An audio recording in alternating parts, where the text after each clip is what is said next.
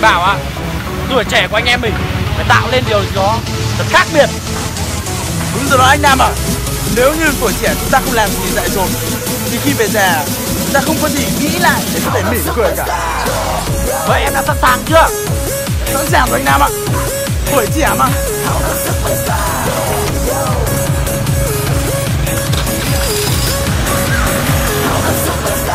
Ta cho sinh ra trong cõi đời hào nam tôi chưa hề biết Em sai cảm thấy cái tuổi trẻ nó không ổn duy anh Nam ạ sẽ làm anh em mày yên tâm. Yêu lầm từ chôn giấu hình để phai phôi. Hãy đến với tôi bằng tâm lòng. Tôi đáp trả trái tim nghĩa tình